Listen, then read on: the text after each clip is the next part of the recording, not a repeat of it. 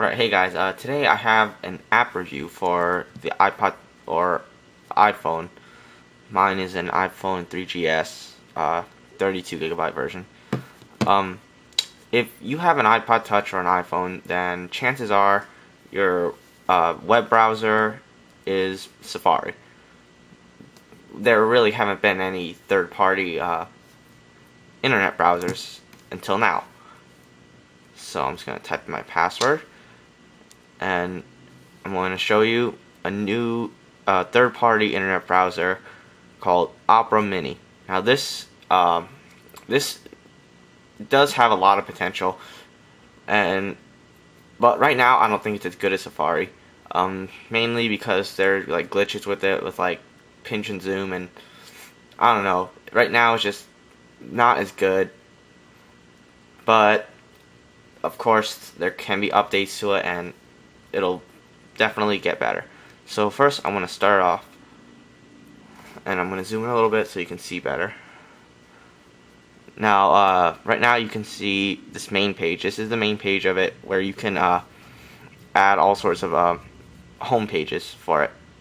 Simply, you simply tap it, type in the address, and then it stays on there. So you can just tap one and it'll go there.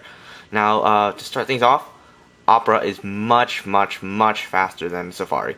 Like, it loads pages so much easier, um, which is good for uh, people who are, like, stuck using Edge or anything like that. And it's just good overall. Uh, you can change the settings. And uh, first you'll see bookmarks, and then you can just add pages to bookmarks. That's self-explanatory. History, you can clear your history and all that stuff. Um, you can go back to the start page from wherever you're at. You can do save pages, which I don't know, it's kind of like the same thing as bookmarks. I don't know what the point of it is. Um, finding page, that is just like Command F or Control F on uh, on like a computer. So that's really cool that they added that.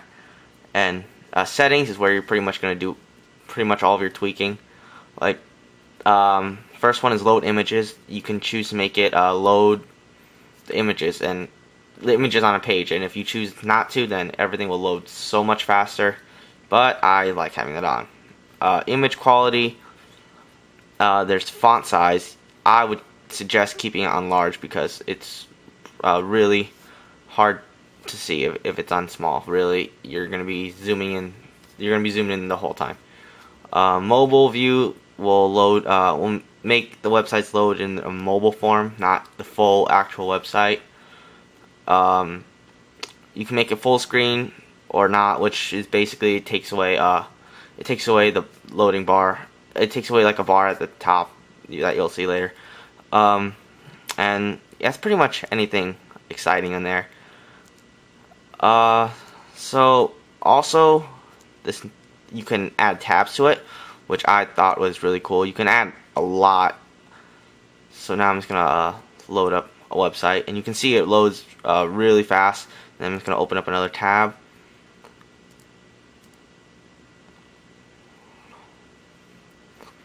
And uh, as you can see, I'm running on a Wi-Fi network. And yeah, so you can just switch between your tabs. And yeah that's pretty cool. Now as you can see it loads pages like really fast. Uh, we're gonna go to uh, my opera. And see as you can see everything loads really good. Uh, and now I'm just gonna go back to this page. And the only problem I really see with it is like I don't know, pinch and zoom is like it messes up like pretty often. You don't really have that much control control over it. So like and it it does occasionally have like its bugs and everything, but overall it's a really good uh, third party uh, application that could easily replace uh, Safari, speed is what you're most concerned about.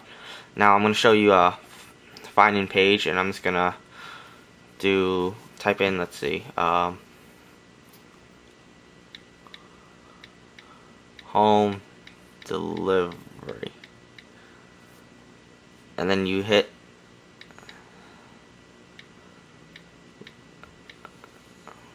and then you hit next and it'll show you.